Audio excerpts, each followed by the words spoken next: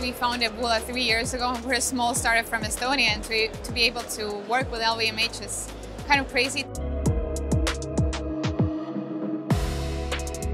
The LVMH Innovation Award seeks startup companies from around the world displaying innovation and entrepreneurial spirit. Those with the right mix are invited to start a partnership, gain support and experience, and become part of the LVMH family.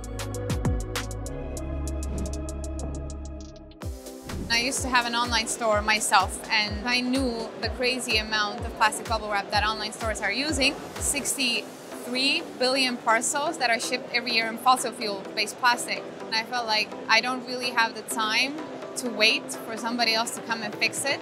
I felt like this is the problem that I should be devoting my time to fixing. I read a newspaper article that said that 90% of sheep wool goes to waste, so why not use this waste wool to replace plastic packaging, and that's how Woola was born.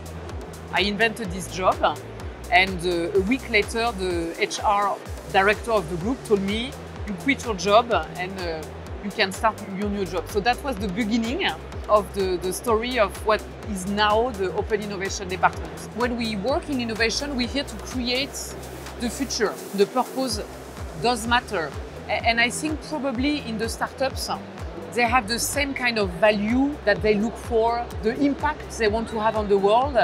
I think we are sharing this, most of the time the same value as this startup because we are an entrepreneur group, we are part from a family. This is not only to talk but to act. So when you believe in a very good idea, when you believe in something, one of the strengths of LVMH this is to make it happen.